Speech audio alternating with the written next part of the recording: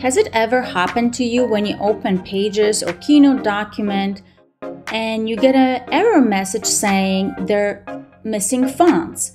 And if you click on this error message, it shows that some fonts are missing. So I'm going to show you three different ways of resolving this issue in Keynotes or Pages.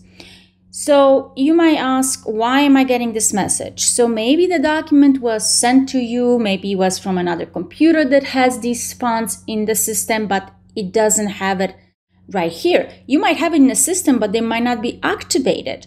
So, or it might just happen and there's really no reason because I've had it happen to me where the documents I've been working on for a while suddenly they get this message when I have changed nothing in the system.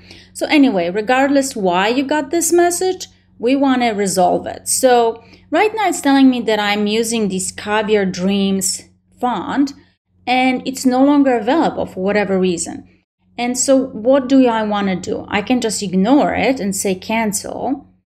If I do that, nothing changes. I still have this Caviar Dreams being used, but I just have an error message by the font. Now, if you don't click in time on that error message, you can still go back to that error message if you go to Format, Font, Replace Fonts. And now I'm back to the error message. So, okay, let me, I change my mind. I want to replace this, you know, this Caviar Dreams font with, let's say, Bradley Hand. So if I replace this, it still gives me an option what style because sometimes you might have a font in several styles bold, medium, italic, and so on. So I'm just going to say this one and click replace fonts. And now all the fonts have been replaced. The second option is that maybe you do have that font on your system, but it's just not activated. So you have to go to your font book. If you click the launchpad on your computer, you can search for it, font book. And once you're here, you can just list them like that. You can see if I have that font. So the font that I had was Caviar Dreams. So I have Caviar Dreams and I can see that it's a bit faded. So it's not black. It's kind of like a faded color. So that means it's not activated. So if I right click on it, I can select activate. So I'm going to select activate. And now you can see that it changed its color to black. Now I can go back to my document and see if it's there. I'm going to just save it. And sometimes you might have to close and open it again. But now I see that it's there. So I can either highlight everything and replace it with Caviar Dreams with the font that I originally had. Or I can just undo this and go to Format, Font, Replace Fonts.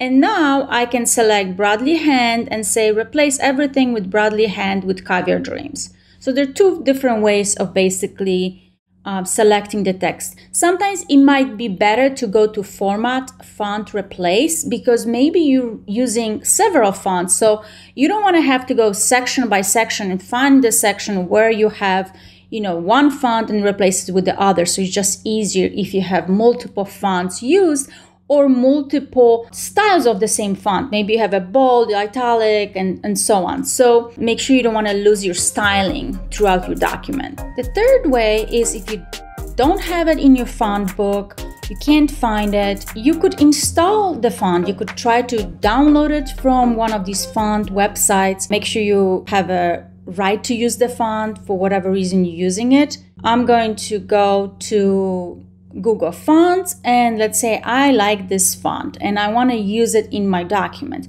So I'm going to download. So you can click download and save to a folder and then you have to unzip it. So I already downloaded it and now I have it here. So I can double click on it and once you double click then you open the folder and you can click on this and select install the font.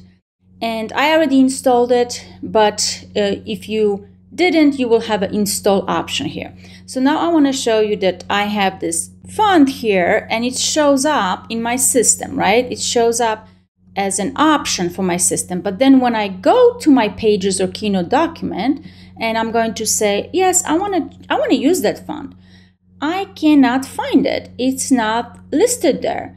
So if sometimes it happens to be the case like that, that you install the font, it's available in a system, but it doesn't show up. Even if I, you know, close my document and open it again, because sometimes maybe you need to reopen your document to make it show up.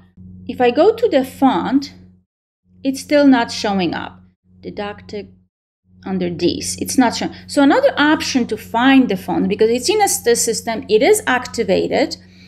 You can go to Format, Font, and click Show Fonts.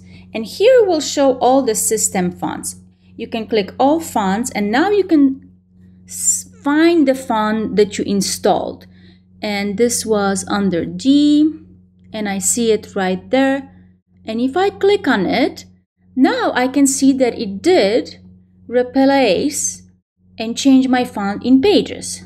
And now let's see if the font is available. Now it shows up. So sometimes if you install the font, it won't show up there for some reason. So this is the way to make sure that it shows up in your not only in your system fonts but actually in the tools you're using like pages and keynotes.